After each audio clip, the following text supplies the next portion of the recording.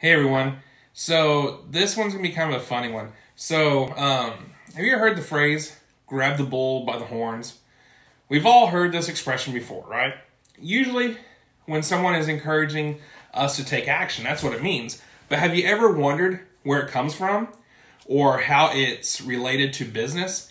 That's what you're gonna find out in today's video. So let's start with the origins of the phrase. It turns out that the saying originated in 1800s during a time when bullfighting was popular in Spain.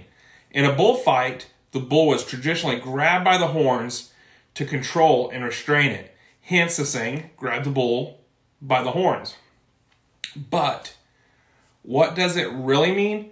Well, figuratively speaking, it means take a bold, decisive action to address an issue or seize an opportunity. In other words, grab the bull, take action, and don't let fear or hesitation hold you back. Now, here's how this saying relates to business. The challenge for business is to continually innovate and stay competitive in an ever changing market. To do this often requires bold decisions by grabbing the bull by the horns. Businesses can break through their fears and make proactive decisions. Proactive that will help them stay on top of their industry.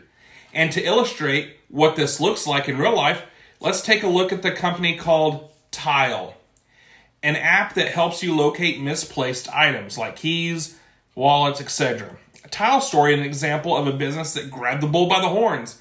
When they realized they weren't able to compete with larger companies due to limited resources, they decided to crowdfund their product instead. With a successful Kickstarter campaign, they were able to raise enough funds and launch their product on the market. Ultimately, Grab the Bull by the Horns is about having courage and taking bold action. It reminds us that success often requires risk taking and that fear shouldn't stop us from making decisions or seizing opportunities. So, be bold and grab that bull. Well, that's it for today's video. We hope you enjoyed learning about this interesting saying and how it can be applied in business. Until next time, see you soon.